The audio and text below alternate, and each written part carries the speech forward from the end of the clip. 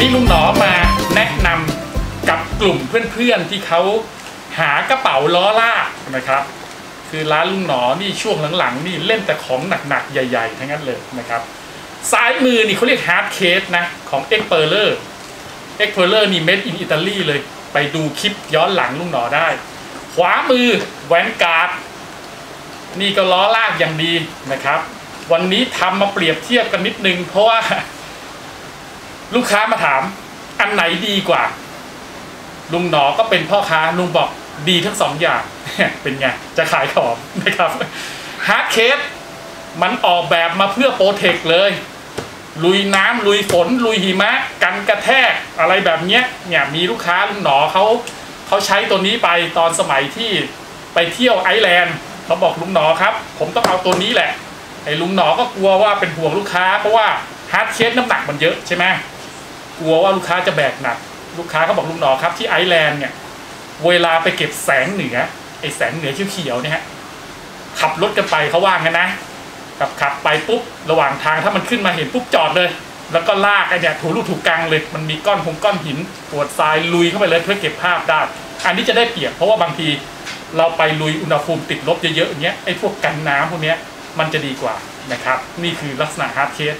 แต่ก็ต้องแลกมาซึ่งน้ำหนัก นะฮะแต่ส่วนหนึ่งคือบางทีคุณภาพมันสูงเนี่ยพลาสติกมันหนาอย่างดี เพราะฉะนั้นเราอย่าไปเกี่ยงน้ำหนัก เพราะสุดท้ายเลยไหมของในใน hard case ที่เราบรรทุกไปเนี่ยมันแพงกว่า hard case เยอะ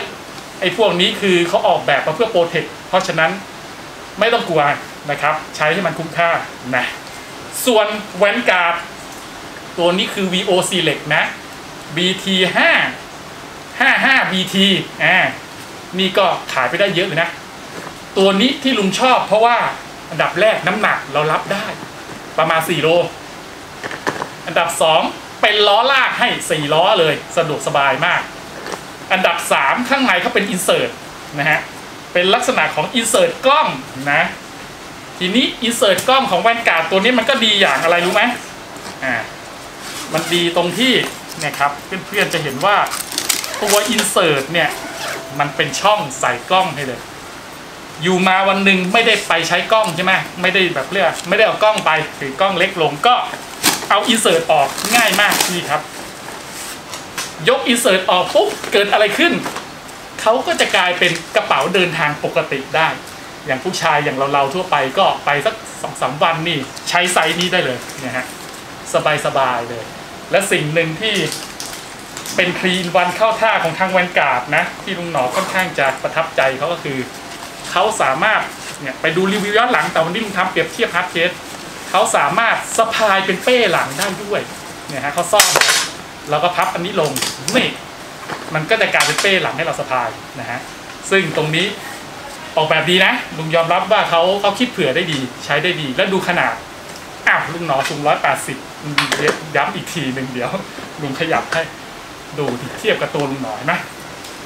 นี่กำลังสวยเลย คือสุดท้ายแล้วนะเพื่อนๆนะ ของเราเยอะ เราหันมาห่วงสุขภาพหลังกันดีกว่านะครับ พยายามใช้พวกเนี่ยกระเป๋าล้อลาก hard case กันกระแทกพวกเนี้ย มันช่วยได้เยอะเลยไม่งั้นแล้วไปฝืนไปแบกโหลดเลิศพอไปเที่ยวมันโอ้โหมันล้านะ แล้วมันจะส่งผลระยะยาว ยิ่งตอนนี้อะอย่างหนอเนี้ยอายุมากแล้วไม่ไหวแล้ว ไปแนวนี้เถอะสบายๆนะครับอะตัวไฮไลท์ประจำร้าน เพราะว่ามีลูกค้าถามเข้ามาเยอะว่าเอาตัวไหนดี